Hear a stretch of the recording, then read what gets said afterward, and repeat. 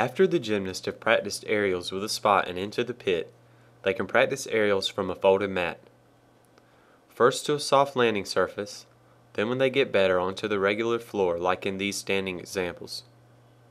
The gymnast can also perform the drill from one step and hurdle. The folded mat must not be too high to avoid a hard landing on one single leg, just adequate to the gymnast's height and to facilitate the aerial a little bit. Progressively, the mat is unfolded down,